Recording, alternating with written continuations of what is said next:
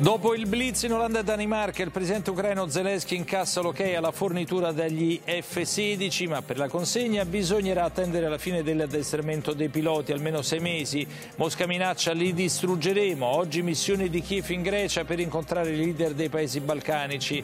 Dal meeting di Rimini, appello del Cardinal Zuppi all'Europa, fa troppo poco per la pace. Occorre scongiurare il rischio di un conflitto mondiale. Contro gli evasori fiscali, via i controlli incrociati sui conti correnti. Dopo l'ok del garante della privacy, il direttore dell'Agenzia delle Entrate, Ernesto Ruffini, annuncia le prime verifiche su versamenti e redditi dichiarati. Nel mirino 57 miliardi di euro, quasi 3 miliardi di entrate in più entro il 2025. In arrivo 3 milioni di avvisi bonari con l'invito a mettersi in regola. Troppe incongruenze nella ricostruzione dei fatti. Per gli investigatori è stato un omicidio mascherato da suicidio. La morte di Vera Schiopula, ragazza moldava di 25 anni trovata impiccata in un casolare in provincia di Catania. I carabinieri hanno fermato il fidanzato e un amico. Avrebbero organizzato una messa in scena. Sono già 76 le donne uccise dall'inizio dell'anno. Accordo bipartisan in Parlamento per la legge sul femminicidio in due mesi. Serie A, scatto Juventus, ottimo esordio della signora, tre gol all'Udinese con Chiesa, Vlaovic e Rabiot, vince anche l'Atalanta a Sassuolo, solo un pari per la Roma che ritrova il gol di Belotti, cade la Lazio, unica big, perdere a Lecce la squadra dei Sari si fa rimontare in due minuti dopo essere andata in vantaggio, oggi le ultime due gare della prima giornata, Torino-Cagliari e Bologna-Milano.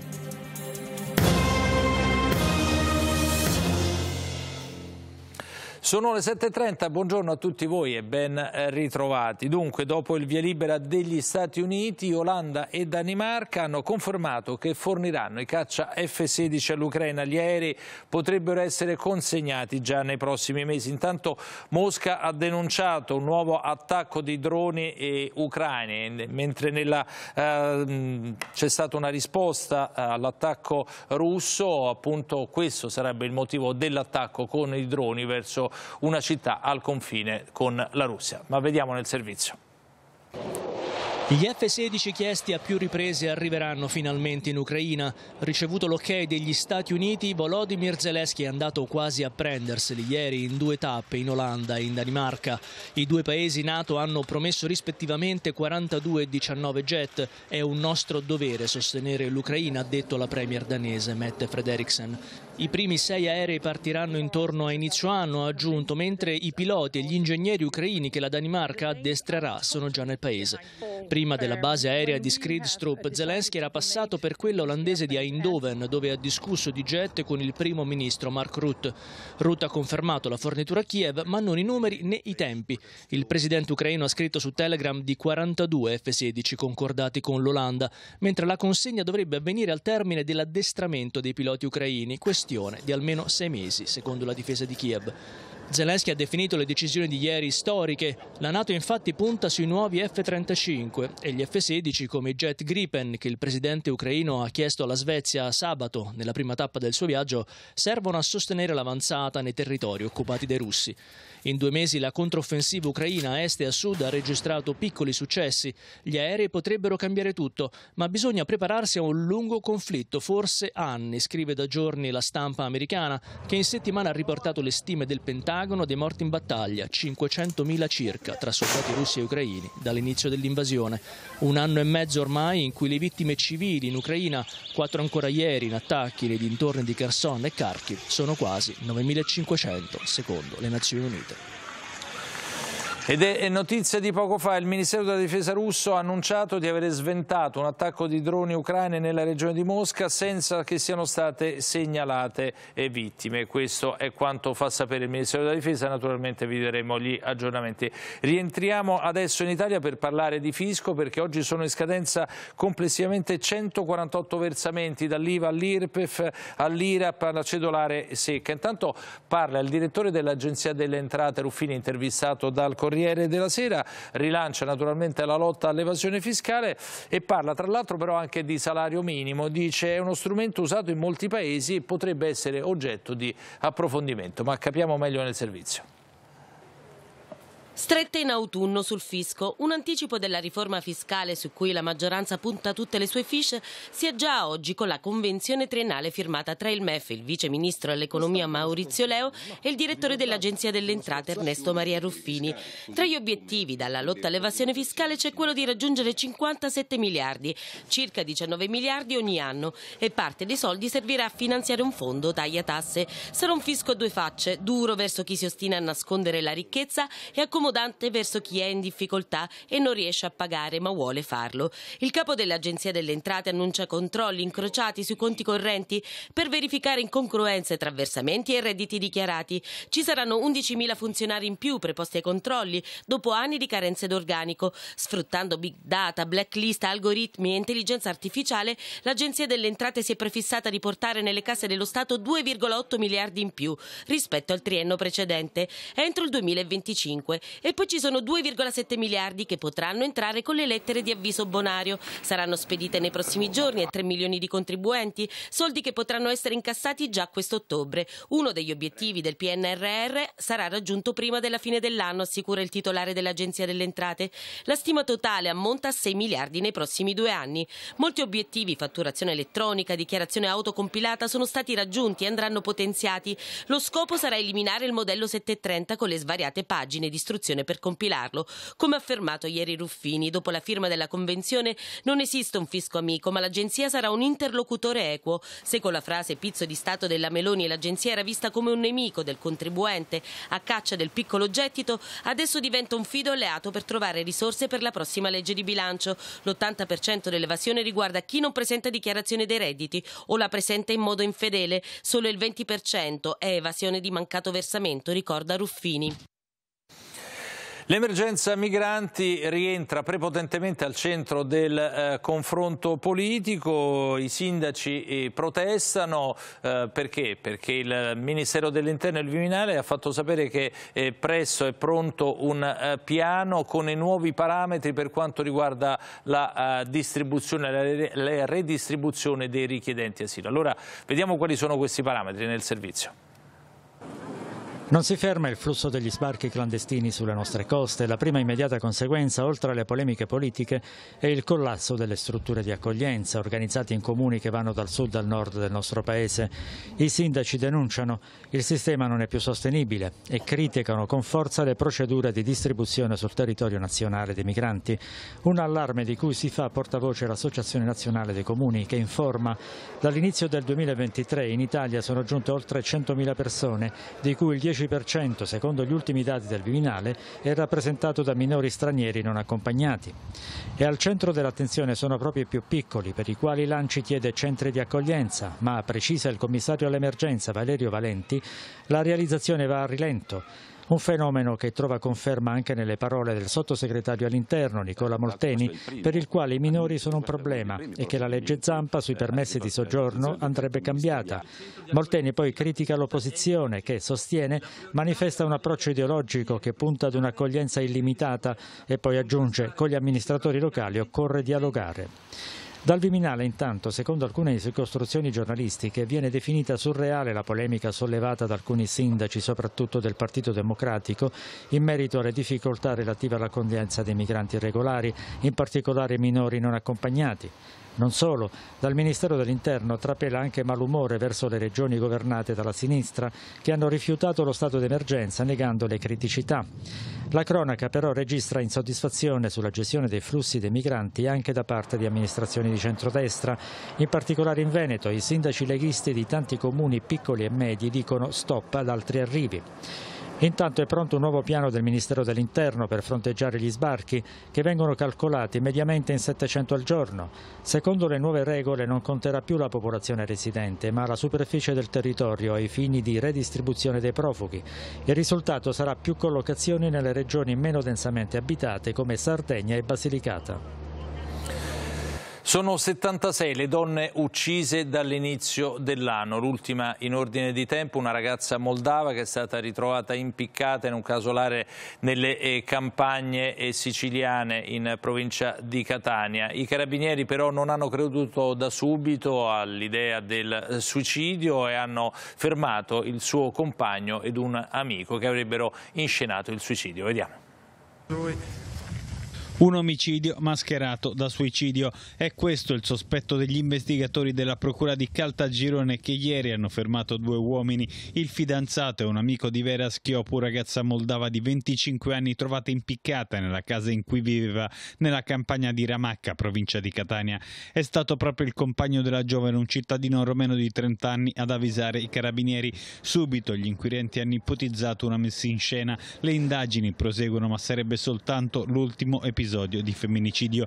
Più di 70 le vittime da inizio anno, donne che in molti casi avevano denunciato i maltrattamenti subiti dai loro carnefici, grida di aiuto a volte inascoltate, come nel caso di Anna Scala uccisa quattro giorni fa a Piano di Sorrento dall'ex convivente denunciato per tre volte dalla donna Ieri la ministra per la famiglia, la natalità e le pari opportunità Eugenia Roccella ha ricordato che il governo ha già assegnato alla Commissione Giustizia della Camera un provvedimento che mira a rafforzare le misure di prevenzione con tempi più rapidi e stringenti per la valutazione del rischio e misure più efficaci contro i femminicidi, dall'ammonimento al braccialetto elettronico fino all'arresto in flagranza differita. Il Parlamento potrebbe decidere per l'iter cosiddetto redigente, ha detto la ministra, una sorta di invito ad andare spediti, raccolto da dal sottosegretario alla giustizia Andrea Del Mastro. Il disegno di legge si può approvare in due mesi se opposizione e maggioranza concordano, ha detto Del Mastro, che poi ha ribadito che occorre votare il prima possibile la legge Buongiorno che consente la vocazione della Procura Generale di fronte all'inattività di un pubblico ministero. Notizie dall'estero. L'Ecuador dovrà attendere il ballottaggio del 15 ottobre per conoscere il nome del suo nuovo presidente. A sfidarsi saranno Luisa González, 45 anni, fedelissima dell'ex presidente progressista Rafael Correa, che ha ottenuto il 33% delle preferenze, e Daniel Noboa, 35 anni, figlio di uno degli imprenditori più ricchi del paese, che si è fermato al 24%. L'alta affluenza alle urne, oltre l'80%, nonostante il clima di violenza scatenata dai narcotrafficanti con lo shock provocato dall'omicidio del candidato centrista Villa Vincenzio favorito nella corsa presidenziale altri episodi in prossimità di un voto presidiato dalle forze dell'ordine. Il nuovo capo di Stato si insedierà il 26 di ottobre. E spostiamoci adesso in Guatemala, il candidato progressista Bernardo Arevalo ha vinto il ballottaggio delle presidenziali quando è stato scrutinato oltre il 95% delle sezioni, Arevalo ha ottenuto il 59% dei voti contro il 36% della sua rivale, l'ex First Lady Sandra Torres. La vittoria di Arevalo, 64 anni, è considerata il risultato della rabbia degli elettori nei confronti della classe politica e del fallimento nel combattere la corruzione nella principale economia dell'America centrale proprio su questo tema ha insistito in campagna elettorale l'ex diplomatico che era favorito nei sondaggi. Secondo gli analisti nel Paese la transizione sarà tuttavia difficoltosa con possibili tentativi di intralciare il percorso di Arevalo. Ci spostiamo negli Stati Uniti dove è massima allerta per il passaggio della tempesta tropicale Hillary in California. In alcune aree della contea di Los Angeles la tempesta ha già provocato precipitazioni da record con inondazioni. I livelli dei fiumi si sono innalzati. Vedete queste immagini, diverse le strade allagate. Molte scuole rimarranno chiuse e oggi gli abitanti sono stati invitati alla massima prudenza anche a seguito del disastro della Way con le accuse di ritardi nell'allertare la popolazione nei soccorsi massima l'attenzione da parte delle autorità che a più riprese hanno parlato di possibili inondazioni catastrofiche. Hillary era stata declassata da uragano al passaggio sulla costa messicana. È la prima tempesta tropicale in oltre 80 anni ad abbattersi sulla California, colpita anche da un terremoto di magnitudo 5.1 nell'area costiera di Los Angeles senza però conseguenze di rilievo. Parliamo di corsa eh, allo spazio perché è fallita la missione della sonda russa che si è schiantata prima di toccare l'estremità eh, meridionale della Luna. A pesare ci sarebbe stata anche la fine della collaborazione con la NASA e con l'ESA. Vediamo. Distrutta dopo una collisione con la superficie lunare, è fallita così la missione di Luna 25, la sonda russa lanciata verso l'orbita lunare 11 giorni fa ed è fallito il sogno russo di una nuova conquista, il ritorno sulla Luna, mentre sulla Terra il Cremlino è impantanato da un anno e mezzo nella guerra in Ucraina. L'ultima missione lunare di Mosca risale al 1976. Luna 25 era partita il 10 agosto dal cosmodromo Vostochny, lo spazio porto voluto da Vladimir Putin nell'estremo oriente della Russia. Programmata con l'Agenzia Spaziale Europea, la collaborazione internazionale è stata interrotta dopo l'inizio della guerra. Era risaputo che l'esito della missione sarebbe stato a rischio. La probabilità di completare con successo missioni come questa è stimata intorno al 70%. Aveva detto il capo di Roscosmos Yuri Borisov, prima dell'allunaggio saranno 15 minuti di terrore prevedeva un esperto. La sonda doveva atterrare nel polo sud della Luna, quello che più interessa agli scienziati perché i crateri polari in ombra potrebbero contenere acqua nelle rocce. L'obiettivo era di prelevare dei campioni della superficie, verificare la presenza di ghiaccio e la radioattività. Si trattava anche di mettere a punto la tecnica di allunaggio e in teoria studiare l'ipotesi dell'allestimento di una base umana anche come ponte per esplorazioni su Marte. Adesso Putin dovrà aspettare le nuove missioni Luna 26 26 e 27. Abbiamo un'ampia pagina dello sport, partiamo dal calcio, nella prima domenica del nuovo campionato a steccare è la Lazio di Sarri sconfitta a Lecce, ma in prima pagina ci sono soprattutto gli attaccanti e le loro doppiette, vediamole. Agli acuti di Osimen e Lautaro di sabato rispondono due bomber italianissimi, Belotti e Candreva, probabilmente intenzionati a stupire il nuovo CT azzurro Spalletti. Ai loro talenti si sono affidate Roma e Salernitana in una sfida terminata 2-2 che ha riproposto le lacune difensive della Roma in attesa degli sviluppi di mercato e la qualità della formazione campana. E rimanendo in riva al Tevere, la Lazio ha confermato di soffrire particolarmente il Lecce. Diverso l'allenatore dei Salentini rispetto allo scorso anno, da Versa al posto di Baroni, ma schema uguale per gli uomini di Sarri messi alle corde nella ripresa da Lecce e poi trafitti dopo il gol iniziale di Immobile da Alquist e Di Francesco. Sembrano allora ripetersi i problemi di tenuta mentale e fisica ad inizio stagione della squadra di Sarri. Tutto sin troppo semplice per la Juventus che ha messo in copertina proprio gli uomini che sembravano in partenza. Chiesa, Vlaovic e Rabiot, autori del tris calato in casa dell'Audinese, hanno fatto la differenza insieme ad uno Scesni, autore di ottimi interventi. Chissà adesso se la società torinese cambierà strategia di mercato e rinuncerà al progetto Lukaku. E se c'era un altro giocatore da riscoprire, quello era di certo l'ex Milan De Ketelare.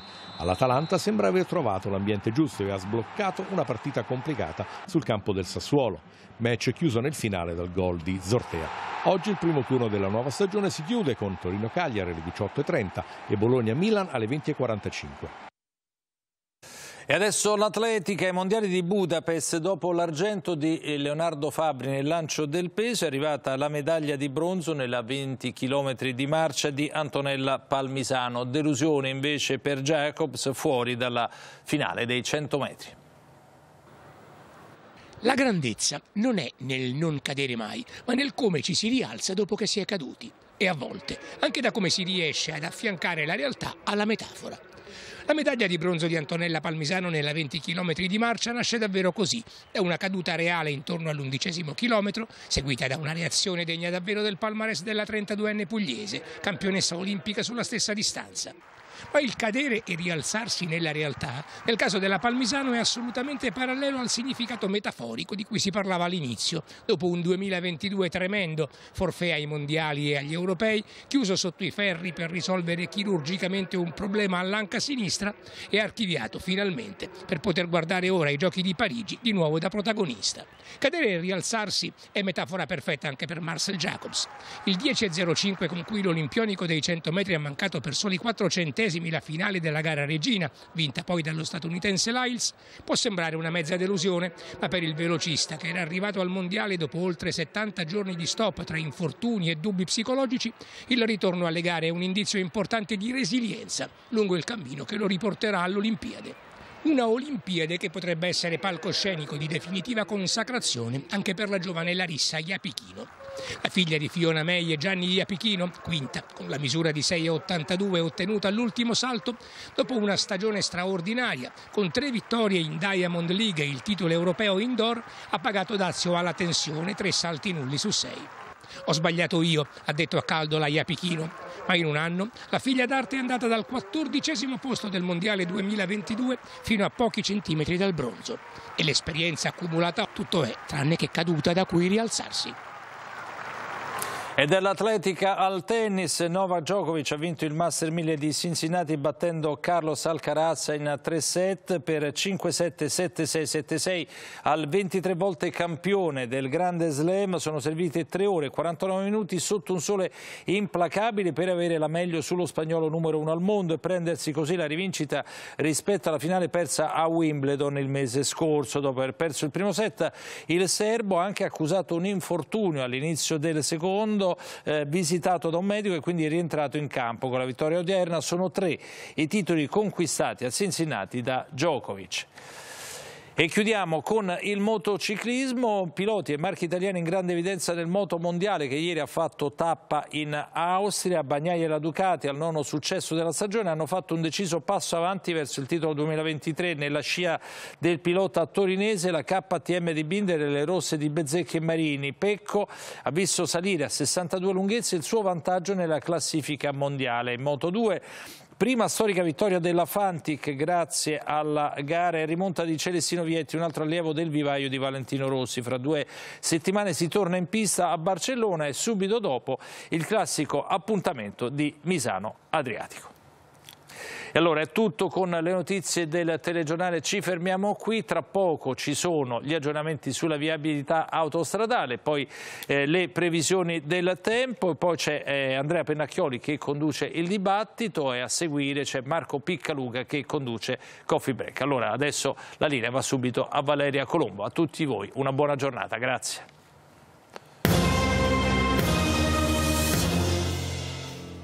Grazie Fabio.